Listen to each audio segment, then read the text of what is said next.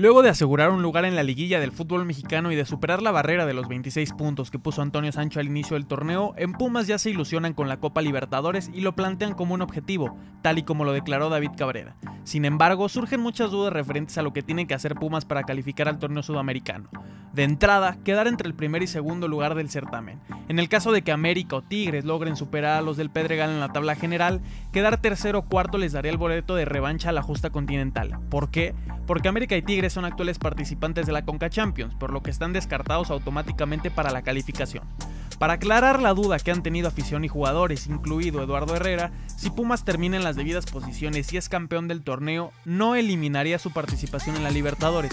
Este torneo lo jugaría el primer semestre del 2016 y la Conca Champions, en caso de ser finalista, la jugaría en el segundo semestre. Tal y como le sucedería a Tigres, que en el Apertura 2014 fue segundo lugar general accediendo a la Copa Libertadores y perdió la final contra el América accediendo a la Conca Champions. Así que Puma, siguiendo por la línea de un equipo equilibrado, con buen trato de balón, con esa alegría y atrevimiento que los ha caracterizado, podría llevarse todo en este cierre de año. Un boleto para poder limpiar su nombre en la Copa Libertadores y agregarle una estrella más al escudo con el Campeonato Nacional. Siendo el equipo más regular del torneo muy por encima de León, Toluca, América o Tigres, argumentos sobran para que los dirigidos por Vázquez puedan hablar de la posibilidad a solo cuatro jornadas de culminar el Apertura 2015.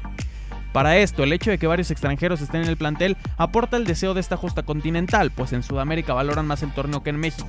Sosa, Alcoba, Fidel, Verón, Britos, Ludueña, Dante y Torales saben perfectamente lo que significa y representa el certamen, por lo que el deseo seguirá latente en las jornadas que restan. No es cantar victoria ni gritar a los cuatro vientos que ya se ganó algo, estar en la cima se disfruta, sobre todo cuando han pasado cuatro años de pura amargura, siempre y cuando no se olvide que no se ha ganado nada, que viene la parte en la que debes de cerrar bien para llegar con buen ritmo a la liguilla. Cuatro partidos, dos de local y la visita a la Azteca son los compromisos pendientes. No sé cómo termine el torneo para Pumas, pero quedará muy grabado en la mente de todo el pueblo azul y oro la belleza con la que sus Pumas tratan hoy día al balón.